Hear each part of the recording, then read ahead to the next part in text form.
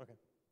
All right. Well, uh, welcome everyone to day three of the Open Infra Summit. Um, welcome to those of you in the audience and those who might be trickling in. Um, I'll take a couple minutes to talk about what's going on with the Sahara project.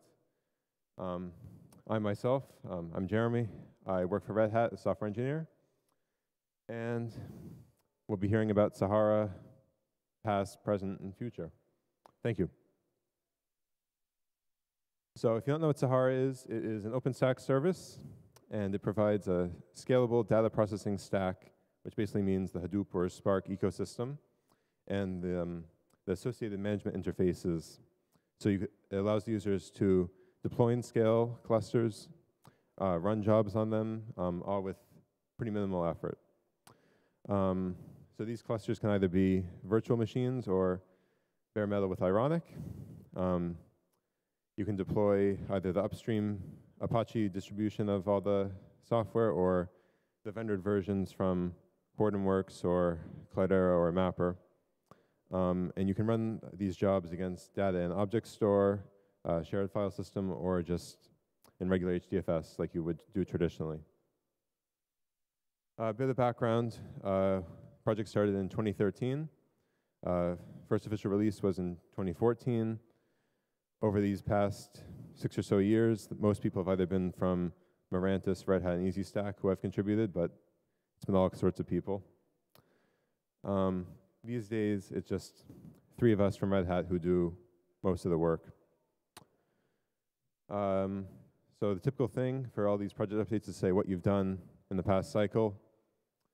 Unfortunately, it hasn't been all that much. It's been a very small team, and we've all been busy with other things, but Python 3 support is now in much better shape with Train, so just in time for 2020.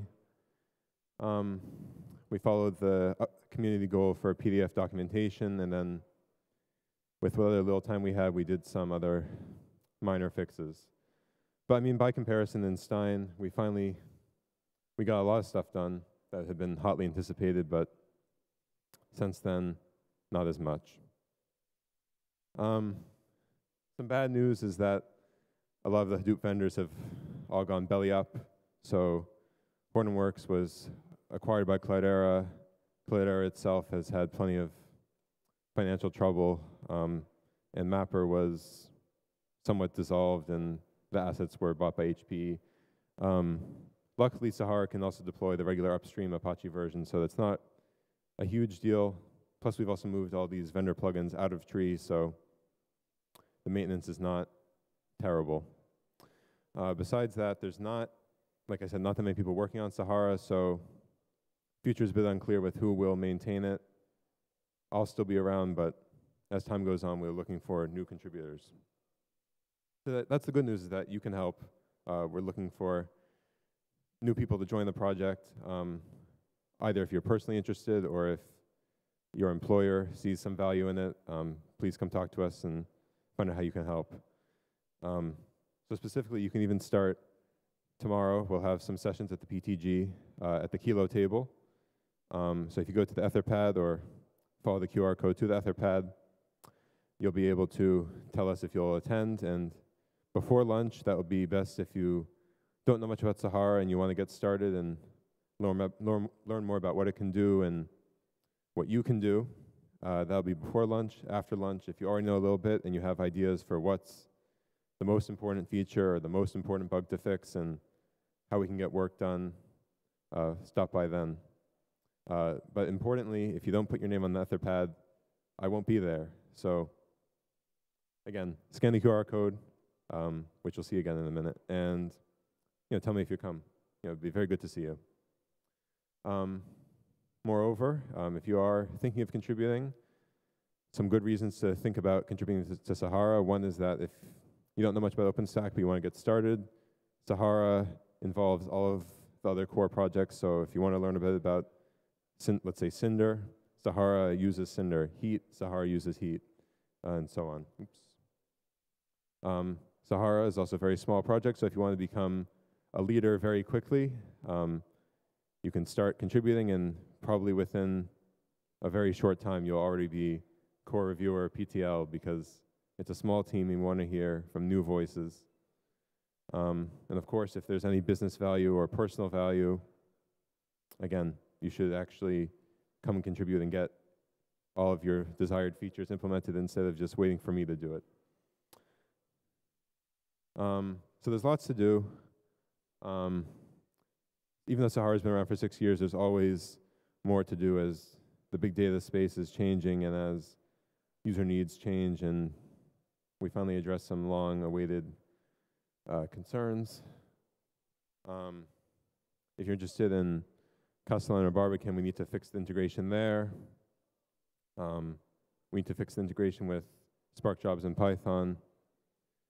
We're also in the middle of a transition from Disk Image Builder to libguestfs. It's almost done, but if, if you know a lot about these tools, feel free to pitch in and help us out. There's some Java code, so if you like Java, um, we need help moving all that Java code back into the Apache namespace because I don't know any Java, and it'd be better if Apache people can maintain it. Um, and as always, uh, Sahara deploys lots of software, and we need to upgrade that software so you can always get the latest and greatest versions of Hadoop and Spark and Storm and Hive, Pig, everything like that. And yeah, if you know a lot, about CI and testing, we need help there as well. Um, and finally, perhaps the most useful things is that we've heard on the user survey that there are four main pain points preventing adoption of Sahara. So if you are at all interested in helping us with documentation, uh, performance, stability, or maintenance of clusters, then that would be the quickest way to encourage adoption or readoption of Sahara and bring some new life into the project. Uh, finally, in case you've just walked in, a reminder of what Sahara is once again. Uh, it deploys and manages data processing clusters and jobs, which I think is kind of cool. Um, even though training was slow, uh, we're trying to pick up the pace again and get some stuff done. So there's lots to do. You can contribute. You can contribute even as soon as tomorrow. Again, just put your name on the Etherpad, which is available by the QR code, or ping me on IRC, or send me an email. And that's about it. Feel free to talk to me offline, um, off stage, and I'll be ha happy to answer any questions about Sahara, both from the developer perspective or the business perspective. So thank you very much. Um, very nice of you all to come early in the morning, so thank you. Thank you.